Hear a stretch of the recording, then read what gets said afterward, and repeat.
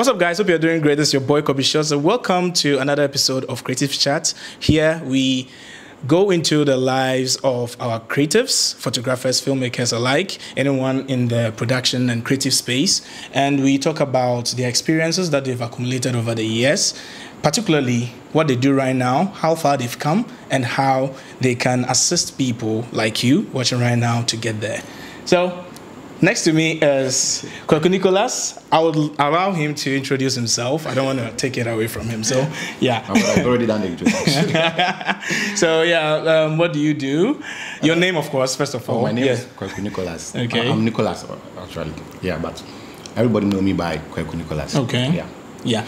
All right. So, Kwaku Nicholas, if you would tell us a little bit about yourself, what exactly do you do in the creative space? Um, I'm a photographer. Okay. Like, um, I do weddings, lifestyle, and portrait photography. Oh, okay, wonderful. So, um, going deeper into the conversation about your life and all that, can you give us a brief story, background story about how you got into photography itself? Okay. Um, it all started way back university. Uh, okay. in my final year. So I was with a friend. His name is Felix. I, I remember that. His name is Felix. So we are about to graduate, okay? So Yeah. we're in our final year, first first semester, I guess. So when we were, we were about to go on vacation, then we decided, Charlie, my brother, what are we going to do mm-hmm. when after school. over, Charlie? and, and my father also has been worrying me to pick up his job, like he was a photographer as well. Oh. yeah. So Okay, so it's actually in yeah, the before family. I, before I realized, like there was this 6D in the family. Wow. Everybody was using it. My brother, my sister, my it was like a family heirloom. I knew nothing about photography. Okay, about okay. Yeah. So, um, okay. Well, I, I did photography, but you know, it was then time the analog type. It wasn't the digital one. Oh, so you actually had a taste of, yes, of yes, I um, knew- using I, I the knew a little camera. bit of the um, framing. Good. Yeah, and even with that, it's very challenging because you don't get to see the pictures as you shoot them. when we went on vacation, um, I tried to do a little bit of um, background study on photography. Okay. Yeah, then I started I started doing some tutorials, learning tutorials from YouTube. Okay. So actually, um, the photography thing started um, when um, my schoolmates, like um, a group, uh, how do you call it? Is it a club or something? No, uh, my mates, year group. uh, Okay, okay, yeah. Year group. We decided to have um, uh, a party or get together. Yeah, during the December vacation. So Okay. we all went. Then I took my camera there. And I started with I started with um, one CD for like just one soft copy or something like that. Okay. Yeah. Then before I realized I was making some coins. So that, Out of it, out of yeah. it. So the next semester we came back to school, I decided to take it serious. Okay. so- Okay. yeah. So basically, it started from there. Then All right. we have gone to this. Okay, so it was like um, um, I can presume that you completed school in 2017, if I'm right. yeah. All right, so you've been doing photography for close to five years. Yeah, December will be five years. December will be five years. That's wonderful. That's actually a journey because having a taste of the analog camera itself, getting into the digital. How was the difference? How would you describe the difference? Because using analog, you don't get to see a lot of things as you shoot. Yes, you only get to see them after they've been produced. So, what's the difference? How does the transition? I mean, how how is the effect? Okay. How is so it? with the with the analog, uh, you just have to try your best to get good shots Yeah. because you don't know um, any. You don't see aperture. You don't see ISO. You Yeah, don't see anything. don't get to see you, just, you, anything. just, you just frame. You Yeah, shoot. You go yeah. your way. Then you go to um, the printing studio. Then With the negatives to yeah, develop them so- into the pictures. I didn't have anything to do with that. Uh, Okay. It was just my dad. So. I take the pictures. My dad will go and do all the work. I don't. I, I knew nothing about No. Yeah, but this one you have to go and do post production. action, with the editing, and all that. Yes, all so- that.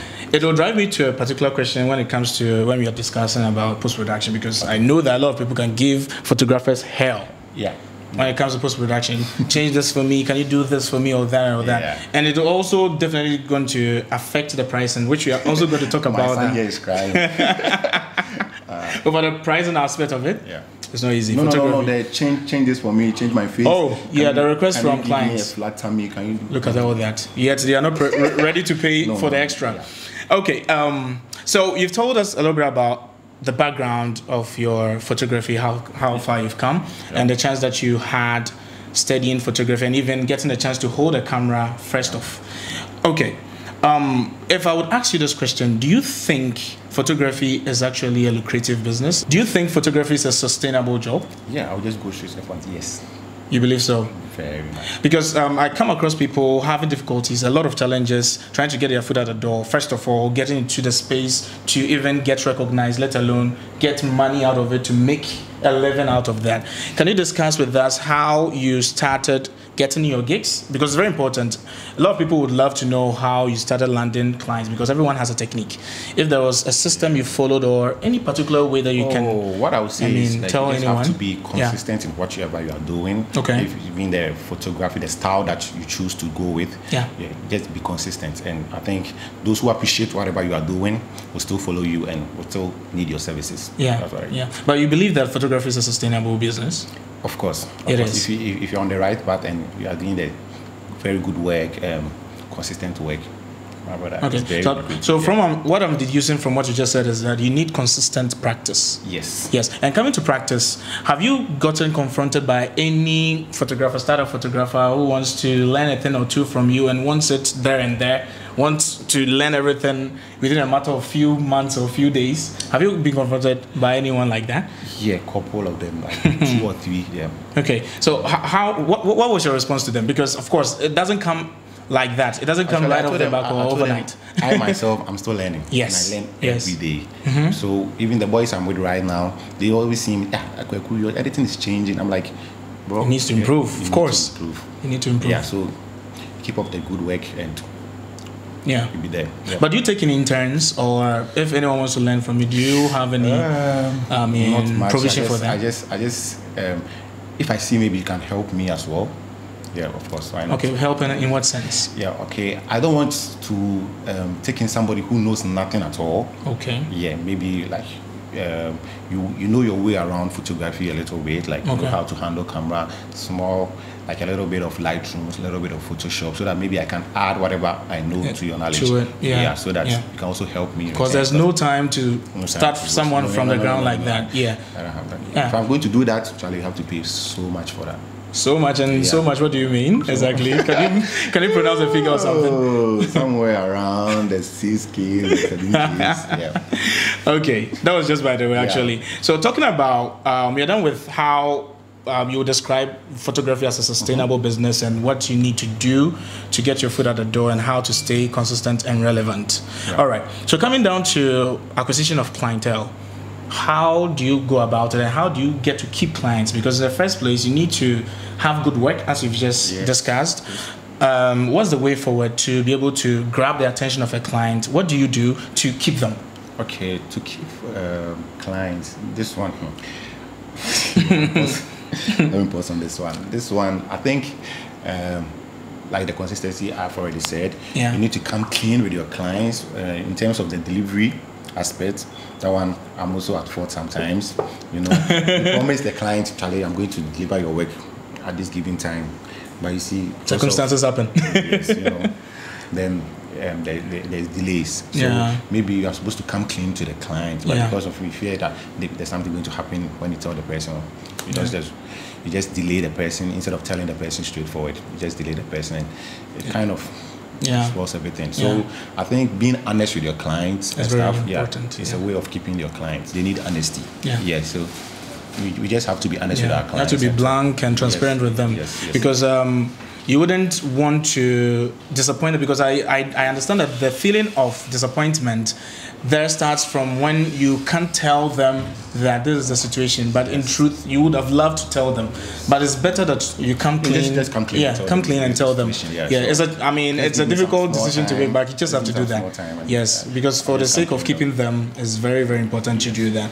And also um, I've seen a couple of videos behind the scenes and all that, seeing you at work. Yeah. Um, I, I can tell it's a big challenge, especially when you are trying to pose Yeah. your subjects Yeah. when it comes to weddings and you know portraiture. Tell me, are there some few techniques? Did you learn this um, in online or in a school or something like Oh, that? Not really. I was How did you come like, about before, that? Before photography, I was also doing a little bit of modeling.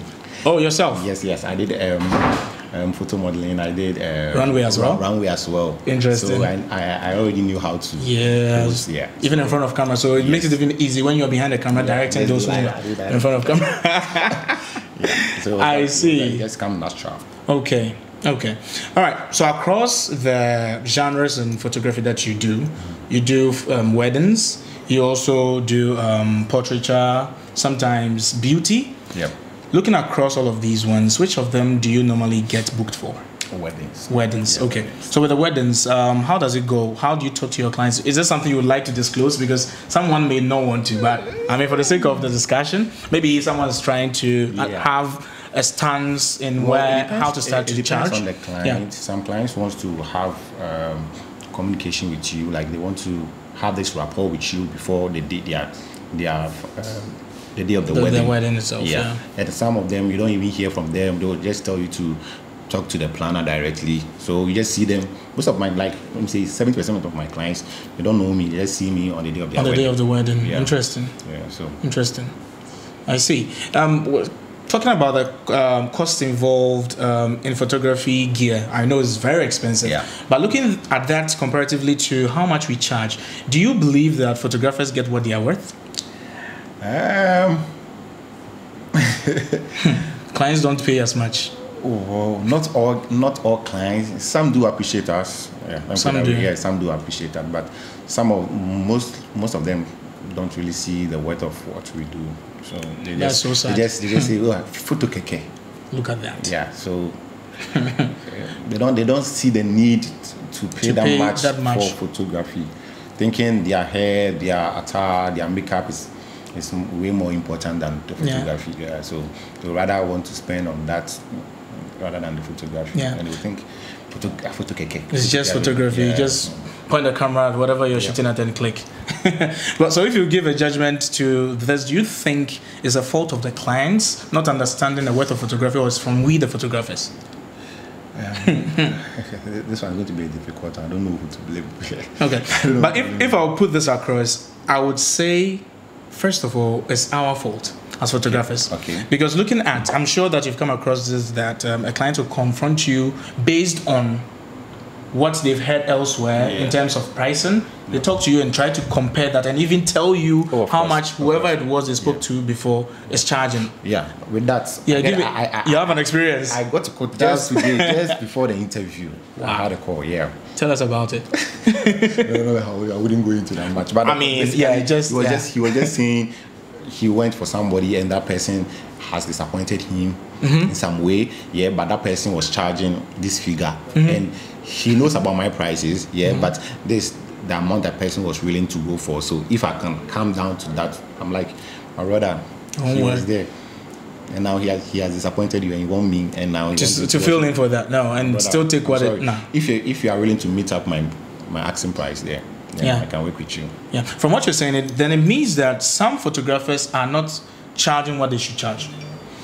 Yeah, basically. Or is there some differences? Because I know that, of course, photographers are different in what they think they should charge and their skill set. Yeah. But in any line of work, if we are going to have a smooth flow and have um, comfort in charging and getting what we are worth in the end, I think don't don't you believe that if we had a system that this how much we charge across board, don't you think? Because in the end, we are all delivering pictures. We are delivering something.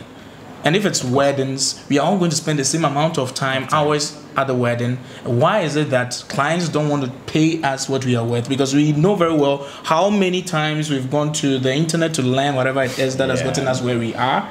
Don't you think that there should be a system for, for photographers to actually follow?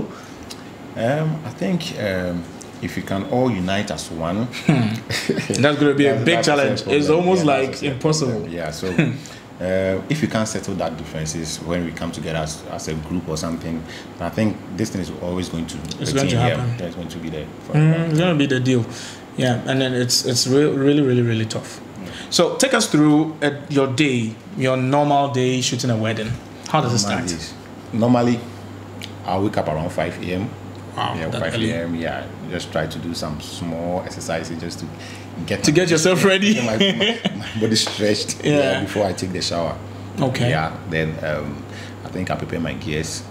Yeah. Then uh, I'll find the location. If I don't know the location, I'll just find the location together with my boys. Then Yeah. we move straight to the location. The Yeah. location. Then we meet up with the client or the uh, how do you call it, the wedding planner or coordinator or uh, yeah, whoever is in charge of the wedding. Okay. Then we, we see the client, then we try to make that rapport with the client. Yeah. Yes, then we tell her what we expect of her on that day. That day. Yeah. Then we start from there. start working. Yeah. Okay, okay. So through into the wedding, how many hours normally? I mean, on average, on average six hours. six hours. Yeah. Wow, working for six hours. Yeah. And clients find it difficult to pay what you are worth. Because Most- it doesn't even most, end there. Most of the times, yeah, you surpass that. Yeah, yeah, and even it doesn't just end there at shooting. You come back with tons of Yeah, pictures to come edit. Yeah. Sometimes most clients want you to do it the next day. They want you to do it same day as you are, you are shooting, but they're not willing to pay for Pay that. for the extra. yeah. Hmm. So if you say something or you had a chance, because this is actually a chance to talk to the clients, your prospective clients, tell them what you expect them to get themselves ready before they confront you. Because of course you've been doing well in this space, and Yeah. I mean you guys, you've seen a couple of pictures. I've showed a couple of pictures from Kwaku Nicholas. He's doing massively well in the wedding creative space. If you had a chance, if, in fact, there's actually a chance. Tell the clients what you you wish or what you believe that they should actually see photography to be in the end, because we, we are all working hand in hand to make something happen. So if I'm making you happy, you also should make me comfortable. Yeah, of course. Yeah. Yeah, I would, I would wish the, all my most of my clients or all my clients to go for our premium packages so that we can give them a premium service. yeah, so can give you Yeah, premium service. of course. So you can give in your all because Yeah, of course, yeah. yeah, yeah, it will, it, Yeah, it will make you very comfortable because you know very well that in Like, the end, if, if there is if you see value on your on your memories, Charlie, mm-hmm. Just go for the premium. Mm-hmm. Yeah. and Yeah. premium service. That's all. That's very wonderful. Yeah. Yeah. So that's to you, clients. If you're going to book Kwaku Nicholas for your wedding, be ready because he's ready for you. He's ready to do everything that it takes to make you happy in the day. So you should also do same. Reciprocate that love. All right. So we are in your. I mean, I'll call it a studio. Yeah. Yeah. This is actually your living room, but you've turned it into a studio. That's how you can actually make do of whatever space that it is Of you course, have. yeah. Because photography, you need a background, you need a couple of lights, and if you are working in a studio, Yeah. how much in general did you spend on your studio? Where we are. Um, as at this point, Mm. This point, Because if someone wants to start a studio, maybe from the ground, because your equipment they cost a lot. someone starting cannot probably afford Yes, all that. yes, but what yes, would you think, or what would you um, advise? Yeah, for basic Um, how much? You can just Yes. go in for two lighting setup. Okay. Yeah, that was that was what I did way back like four years ago. Okay. Yeah, two lighting setup. That's what I used to use. Um, um, so I had two this um, how do you call it? Speed lights. Speed lights. Yeah, but now I have strobes all over. Yeah, but it wasn't like that way back. So if you are if you are looking to start something fresh and like you are on a budget, you just have to go with something small.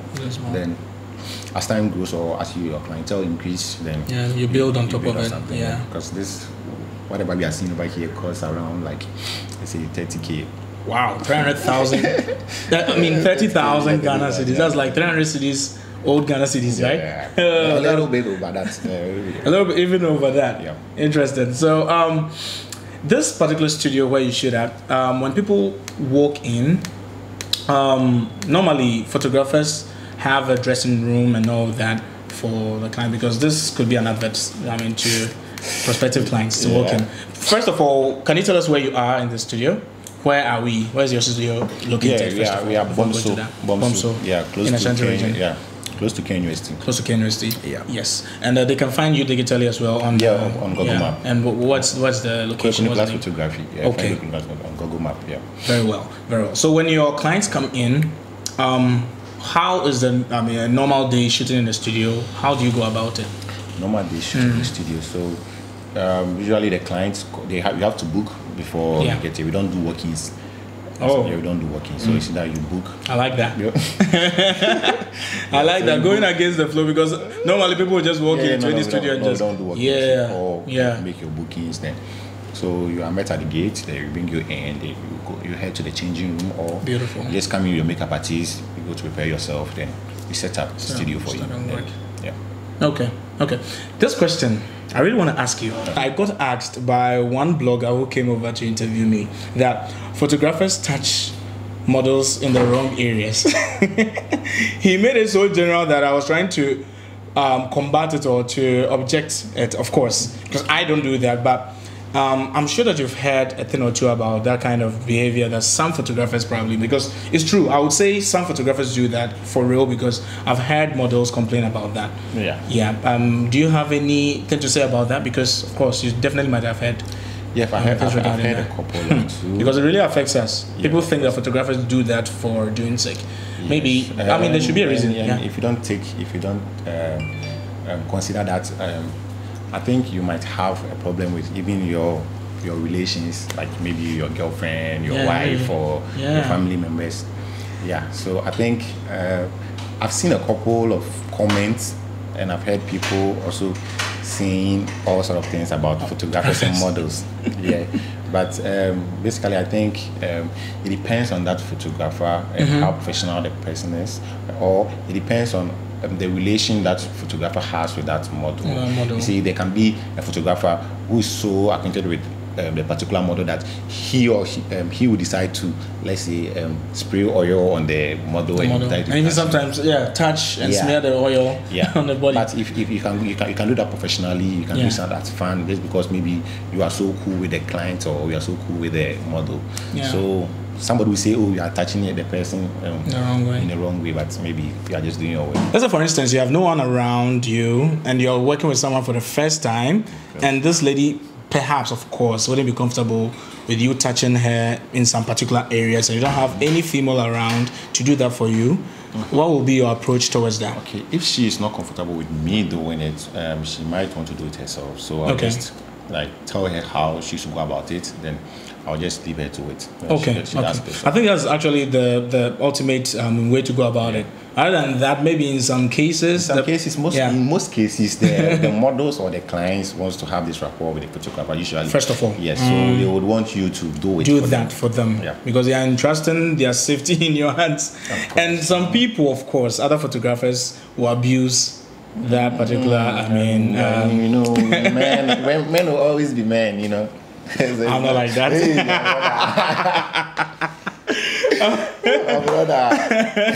Okay, so going into it, um, you've made a couple of um, friends in the modeling space. You started Yeah. being, a, I mean, as a model, Yeah. and um, going across. You normally work with more ladies than you do with men, right? Yeah. Okay, so when it comes to, um, um, of course, when you started with photography, you definitely confronted some models. Mm. Yeah, you confronted some makeup artists, probably trying to work hand in hand.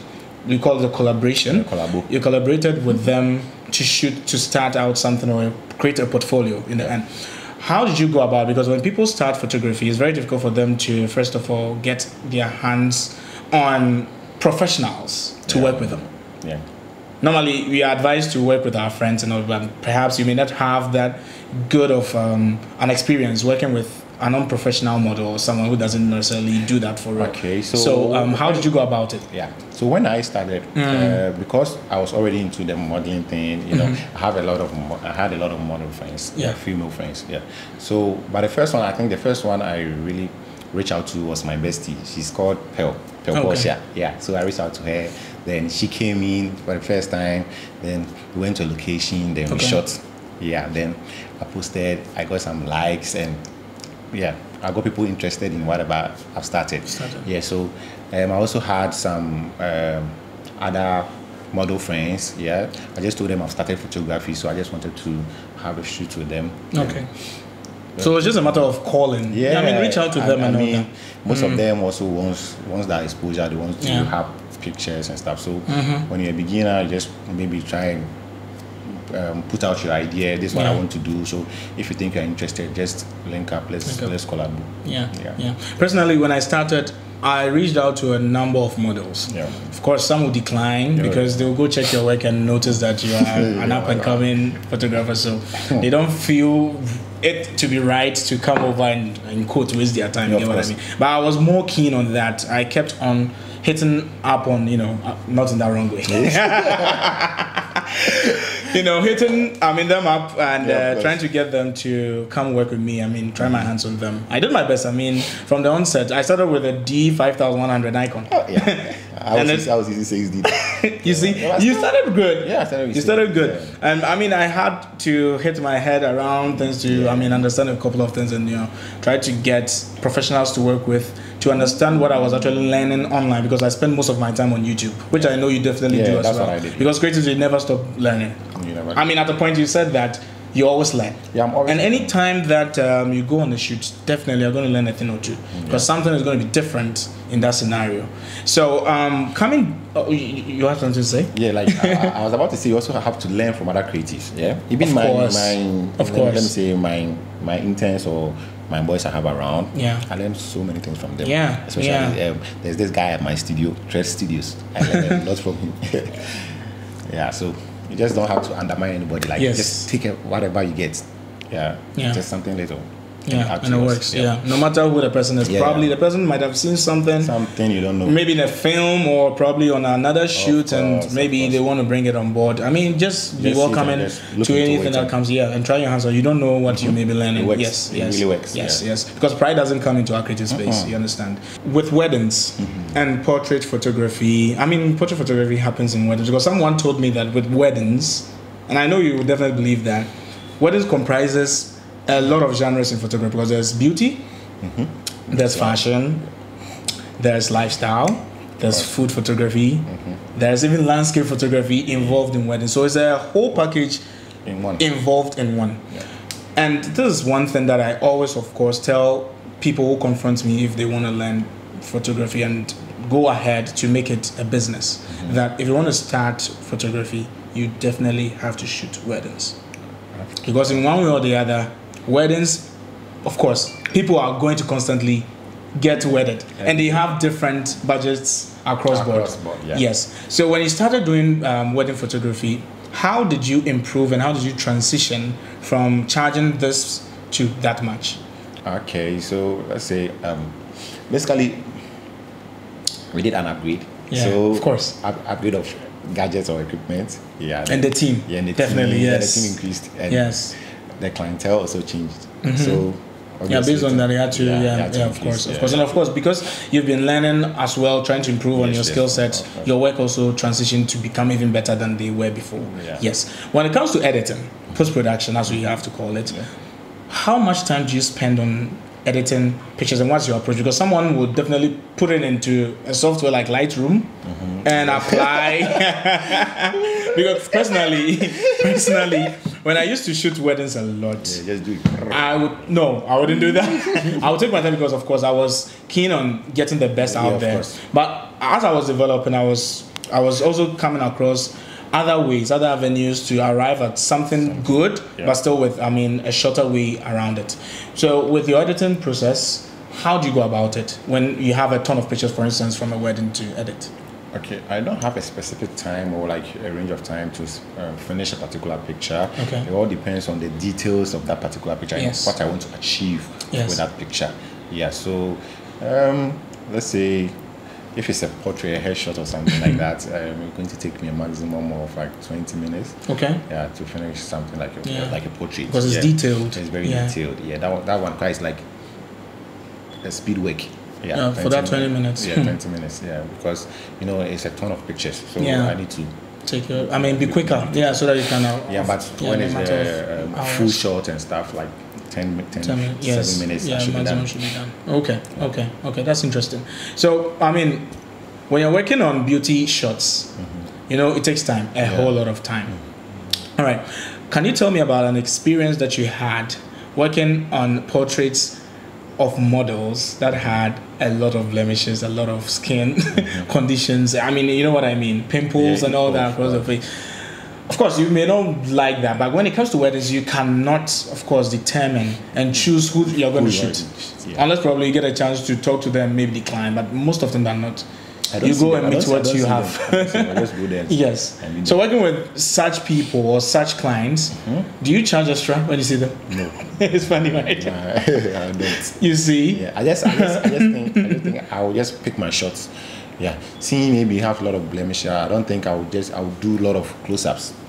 Okay, that's your way around it. Ah, yes, I that's just- smart. I just try to Yeah, that part. shit away from. Yeah. I mean, I mean, a little Yeah, bit of a just try to distance. Yes. Better angle so that I wouldn't have a lot of work to do. what to do. Yeah. And yeah, that's that's that's actually a good way because when you are a little bit away from the subject, mm-hmm. you're still shooting with the same number of megapixels. Yeah. If you were to be shooting closer, to them, and when you're back I mean, backed up a little bit, the mm-hmm. detail wouldn't be as, As much, much as as if you're close. So that's actually a way around. That's very smart. I like that idea. Mm-hmm. Do you know something? It really baffles me a whole lot because I just don't understand why photographers as good as you, or a photographer as good as you, wouldn't start a YouTube channel. Why?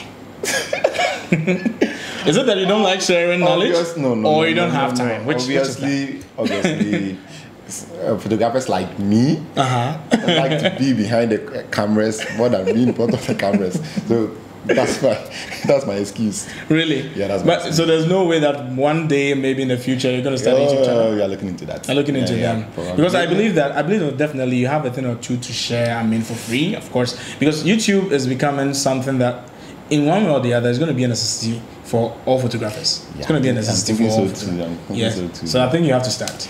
Yeah, You shoot your first video after this interview. uh, maybe, maybe. okay. So, um, do you have anything to tell any upcoming photographer? I mean, we we all had a story. We still have a story, and we are still learning each and every day. Yeah. Would you have any advice whatsoever to tell anyone wanting to start doing photography? Maybe perhaps go into the genre wedding photography that you do right now. Okay, so what I'll tell my younger brothers out there And Yes. of course, sisters also shoot. Yeah, okay, they shoot pictures. Photographers are females. my as well. They are younger female photographers. So, uh-huh. Don't leave them out. is to have time to learn. Yes. Yeah, they should have time to learn. Yeah. Yeah, they should they should value whatever they are doing, like the, the photography because it's it's lucrative Yeah. in some way. Yeah, and um, it needs time, so they should have patience and Yeah. yeah, they should just keep on learning and um, be consistent with whatever they are doing. Yeah. and I think everybody will come up. Yeah, and with the challenges, I mean, can you tell? I mean, whoever wants to get their foot in the door of at the door of um, weddings, what are the challenges that definitely they may face, so that they can get themselves prepared because they might be caught by surprise. So, what are the things that you got confronted? If you can tell them, they can get themselves prepared so they are not caught by surprise. You understand what I mean? Okay, so, if there's so, anything, would, yeah, um, a challenge. My little brothers and sisters out there who are looking to go into wedding photography, I think they have to be prompt. Yeah. they have to be very prompt in the sense that um, for weddings, when you miss the shot, That's the that's it. You can't go and tell the um, the pastor that please. I missed the shot, so I- let's I go missed back. shot, so let, please put back the veil and let them let's redo that. Yeah, It It's doesn't like- happen. So you No. always have to be, yeah, yes, yes, vigilant and ready. Yes, you have to set your Yes. your apertures and your ISOs and whatever Yeah. at the right numbers, Right, then so yes. that you can get like nicer shots. Yeah. Yeah, so that you have little to do when you are um, doing post production. Yes, Yeah. yes, yes. So, Kwaku, you once started with a Canon EOS 6D. Yeah, Yes. And um, you were fortunate to have had that in your family already. But at a point, you felt that you had outgrown it. That's why you used another camera, which is an upgrade, obviously, on um, the 6D. yeah. What camera, first of all, do you use? Um, Canon EOS R. EOS R, which cost a fortune to Oh. acquire that particular piece of gear. Yeah. And can you tell me at what point and how did you feel when you're using the 6D? And what point did you, I mean, realize that you needed to upgrade? And what were the reasons behind that decision? Yeah. Um, how do I put it? Like, I realized, I realized. um, for I realized I've outgrown, like you said, Yeah. I've grown the 6D, and um, there was a lot of shots I wanted to achieve that is 6D. Um, it wasn't really Well, helping. really, yeah. Yes, and, and I'm able to achieve that with a Yeah, with a R. Yeah. Yeah. So um, I thought it wise to just upgrade. Upgrade that. Yeah, but did you have your, did you get a chance to hold an EOS R to try it out before buying one for yourself or? Yes, a couple of just times. that? A couple Okay, of times okay. from from from my friends. Like, Okay. yeah. So yeah, yeah, that's when probably you realize that Yes, I because in weddings you need to take pictures. Some of them you have to take continuous shots quickly, Yeah. and the EOS And the 6D tracking, the tracking mode is like is very- better yeah, on the very- EOS R. yeah. Truly, truly, because the EOS R first of all is a mirrorless camera, mirrorless camera. and this one's a, I mean a DSLR, Mm-hmm. of course. And when you're shooting in burst mode, the DSLR, I think the Canon EOS 6D shoots 4.5 pictures a second. Yeah. For the continuous shot, and I think uh, the EOS R should shoot more. Yeah. I'm gonna place 12, in that. I can't really remember. I don't know. yes, yes, but it's better in a lot of ways than that, of course, yes. So these are the reasons why Kweku decided to upgrade on his EOS 6D because there are a lot of shots and there are a lot of features that you can acquire if you are comparing these two cameras and he made these decisions based on these reasons which are potent because you don't just upgrade on a gear just because you've seen your friend using it Yeah. nah that's a lame decision to make Or just because you have a lot of money. of course not. yes, you have to have a big reason. You know that if I get this particular piece of gear, I can be able to achieve this, and it comes with experience and practice and a good reason behind it. So yeah, so this actually brings us to the end of the interview. Thank you very much, Mr. Kwaku Nicholas, for having us over here in your wonderful studio. You're welcome. Okay, and uh, yeah, this has been Creative Chats, and I know very well that you've been inspired in one way or the other listening to the story of our brother over here who's doing massively well in the wedding photography space. And just as we do over here on Creative Chat, we we actually go into the lives and uh, the experiences and the I mean all the stories that they have to tell us to get us inspired. And if we want to get our foot in the door or whatever it is, the discipline that they are actually into we can also have a thing or two to learn from and get ourselves ready. All right, so once again, this has been Kobby Shots hosting Mr. Kwaku Nicholas on Creative Chat. And yeah, until the next video, I'm going to catch you later. Have a wonderful day. Let's go. See ya.